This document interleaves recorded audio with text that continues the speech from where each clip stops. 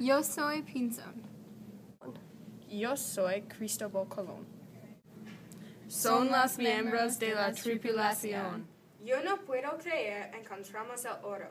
Es muy bien, pero, Pinzón, nosotros no tenemos suficiente.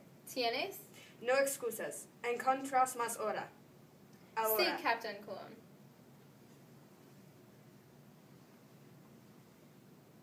Yo tengo oro, lo. Da el oro a mí. Yo tengo cansado de este. ¿Qué? Nada. Pinzón, necesito más oro. Encontra el oro. Estoy cansada de tus órdenes. Colón, tú no eres el sola persona que quiere tener ricos. Nosotros no nos gusta buscando por días para ora y dar a ti. También no hay mucha hora deja en estas islas. Pinzón, tu opinión, pi- opinión no es importante. Importante. Yo soy la persona que recibió el dinero y tengo patrocinadores poderosos en Castilla. Soy el capitán y tie- tienes que oír a mí. Yo no quiero seguir a tus órdenes. Voy a salir, ya te encontraré y verás tu futuro entre cadenas.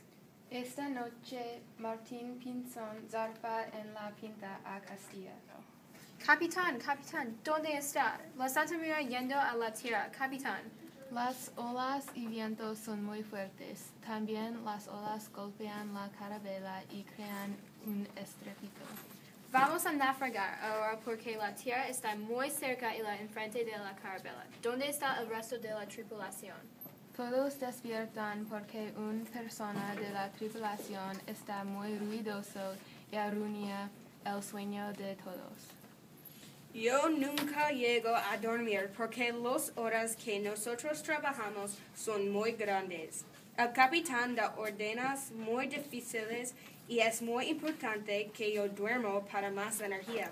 Lo siento, pero la carabela yendo en la dirección de la tierra ahora.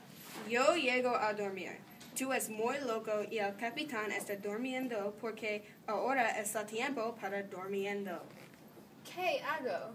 La carabela se estrelló en la tierra y la tripulación se despiertan con el ruido del accidente.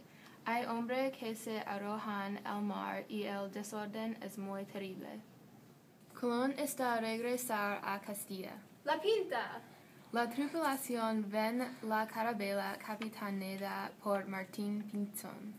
Yo necesito la nave y el capitán para volver a Castilla y reclamar mi descubrimiento. No quiero vencer. El regreso a Castilla será muy difícil porque la Santa María está destruida. Así que tenemos que trabajar juntos.